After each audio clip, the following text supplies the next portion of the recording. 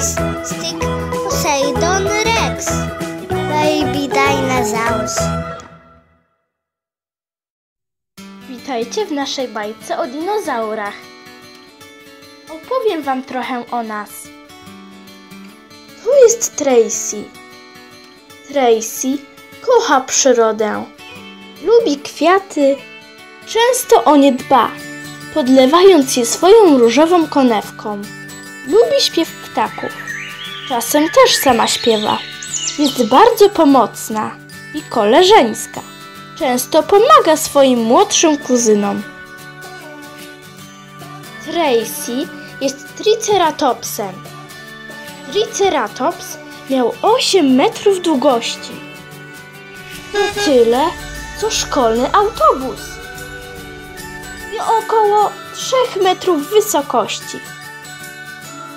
Ważył od 6 do 12 ton. Tyle, co trzy słonie. Triceratops posiadał trzy rogi, w tym dwa na czole o długości jednego metra. Rogi wykorzystywał do obrony przed takimi wrogami jak tyranozaur.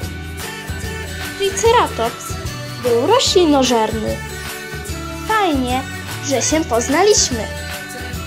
Zapraszamy Cię do oglądania naszych przygód na kanale Baby Dinozaur i odwiedzenia naszej strony www.babydinosaurs.com Do zobaczenia!